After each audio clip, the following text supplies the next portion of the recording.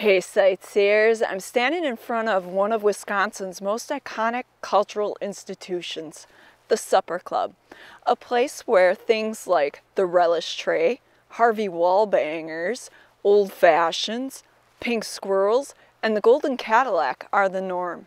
A place where people are encouraged to slow down and enjoy good food and conversation a place where it is typical for people to spend several hours lingering over their meal instead of hurrying up and rushing out the door. Traditionally, supper clubs serve only one meal, and that's supper, or whatever it is you call the food that you eat after 4.30 p.m. As you can see, this place is no different and holds true to the norms of the supper club traditions. Since it happens to be a very special occasion for one of us here at the Sightseeing Channel, and we hardly ever go out to eat, we thought it'd be really cool to come back when the doors open and enjoy a truly iconic Wisconsin experience at an old-fashioned supper club.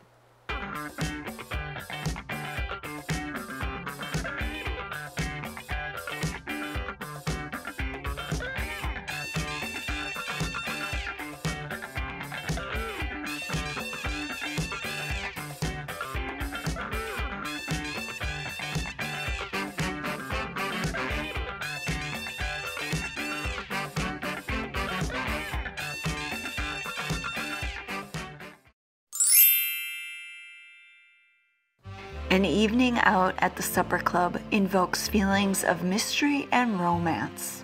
As we walk in and you look around, you'll notice certain key aspects that contribute to making this an authentic Wisconsin supper club experience.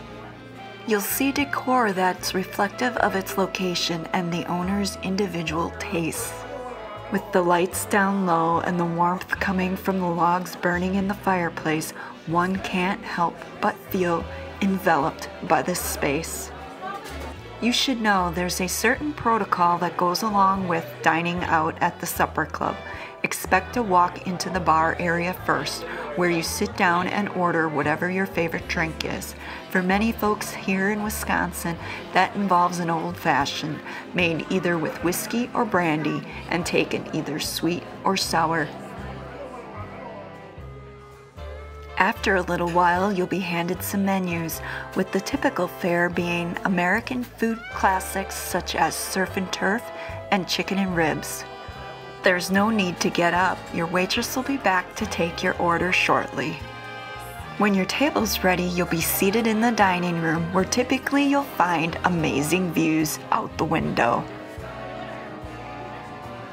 If the supper club you're dining at still follows old traditions, there will be a relish tray waiting for you at your table. What you find on that relish tray all depends on the supper club itself. Typically, you'll find fresh cut vegetables, some sort of cheese spread, and my personal favorite, the liver pate. One should never go to a supper club expecting to hurry up and eat. The whole point is to slow down, relax, and enjoy.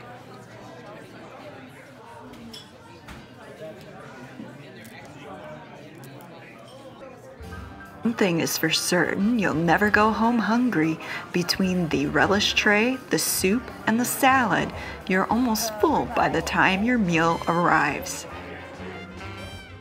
Of course, that doesn't stop most of us from digging right in and enjoying what we ordered. For me, it's a healthy serving of ribeye steak, smothered with butter on top, and a baked potato on the side, cooked just the way I like it medium to medium rare. Now I get some of you aren't going to enjoy having your beef practically mooing at you.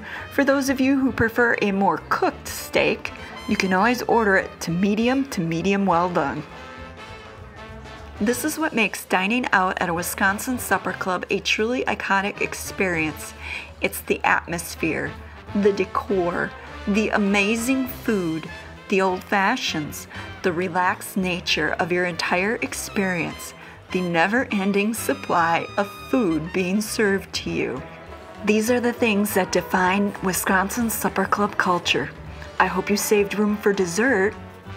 Speaking of dessert, if you're a typical Wisconsinite, you'll probably go back into the bar and order yourself a pink squirrel or a golden Cadillac.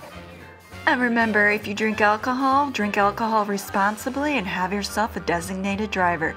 Tonight, Marty will be mine.